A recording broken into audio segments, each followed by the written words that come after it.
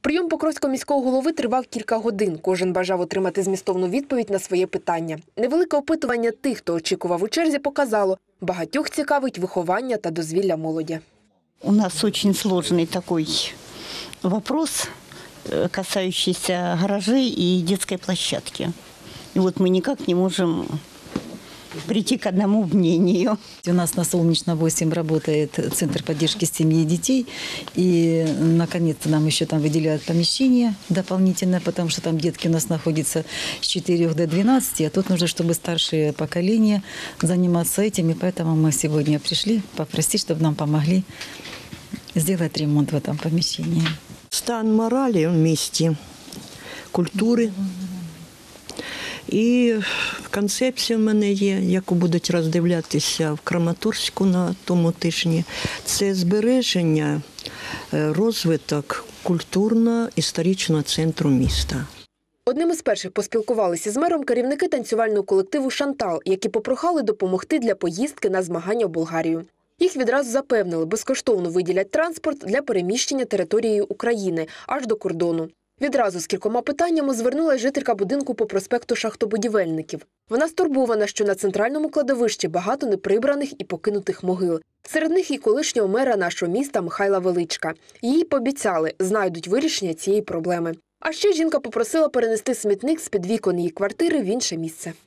Вот есть там сколько домов, вот рядышком, Ну, которые... два дома на сейчас. Два. те, Вот, которые значит, тут. что, что там еще, какие дома? Два дома? 16, 18. Все, подписи жильцов.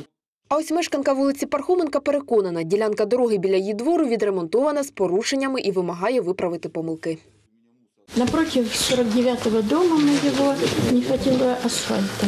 И ее вот так сделали. Теперь надо подсыпать, снять асфальт, подсыпать и выровнять, потому что там углубление во время асфальтирования получилось. Очільник міста дав розпорядження провести необхідні розрахунки, а також закликав Ганну Миколаївну укласти договір на вивіз сміття, чого вона вперто не хоче робити. Руслан Требушкін занепокоєний тим, що наші балки і лісосмуги завалені непотребом. А багато жителів продовжують стверджувати, що не смітять. І це при тому, що його вивіз коштує менше 10 гривень на місяць. В перерві ми поцікавилися враженнями міського голови від сьогоднішнього прийому. Вопросов, которые надо решать, их достаточно много в городе.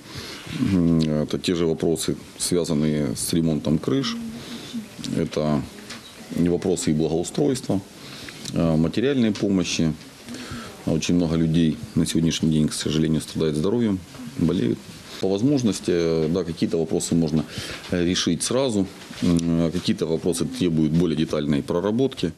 Прийом продовжився і знову посипались комунальні питання. Зокрема, житель вулиці Поштова, колишня соціалістична, прохав відремонтувати аварійний балкон. Балкон ремонтируется уже третий год. Балкон не ремонтируется. Да, ремонтируется, никак не ремонтируется. Вот еще из Смоновского писали заявление. Третий по счету. Вот. Я претензий больше не предъявляю. И Третий этаж, он сыпется. Міський голова закликав заступників пришвидшити роботи як з відновлення балконів, так і дахів багатоповерхівок, на які також скаржилися люди. Останніх, до речі, в планах на капремонт цього року 13, та по факту такого покращення потребує не менше 30.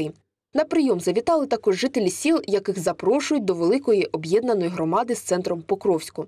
Так, житель піщаного прохав посприяти в ремонті доріг та налагодженні вуличного освітлення в селі. На следующей неделе будет сессия.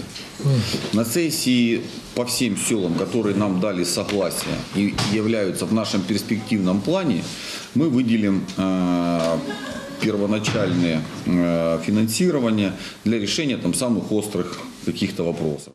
В цілому на прийомі побувало більше 50 жителів. Хтось залишився задоволений відповіддю, когось вона задовольнила не повністю, але жоден не залишився без уваги.